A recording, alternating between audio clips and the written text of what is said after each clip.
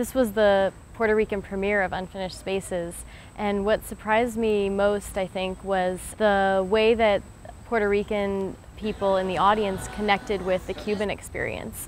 Not only because of their Puerto Rican experience, but also because of the large community of Cubans in exile living here in Puerto Rico. A young art student came up after the first screening. By seeing Unfinished Spaces through Film Forward, he was able to better understand his own grandfather. Watching this film um, helped me understand my family and where I came from. Being a son of the exile, of the Cuban exile, I, I hear these stories, but I've never lived them.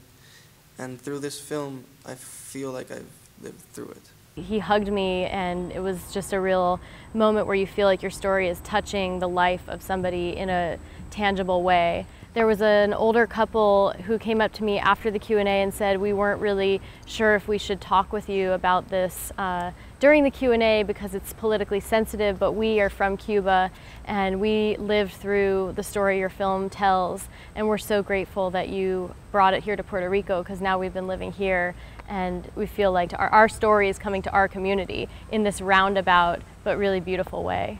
Film Forward is bringing together stories and people and the filmmaking community around the world. It's been an incredible experience.